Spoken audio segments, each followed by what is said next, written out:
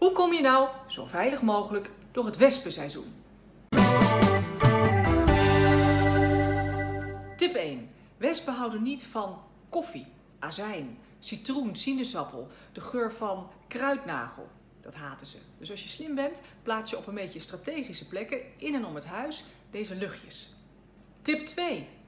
Wespen zijn wel weer dol op hele zoete luchtjes. Dus ben je de enige tijdens een barbecue die wordt geterroriseerd door zo'n rotwesp, dan is je luchtje waarschijnlijk te zoet.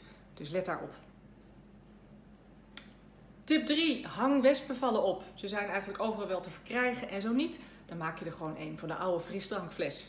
Wel vullen met een beetje siroop, want anders heeft het natuurlijk geen zin.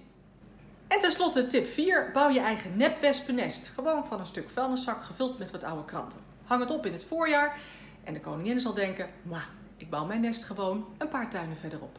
Succes!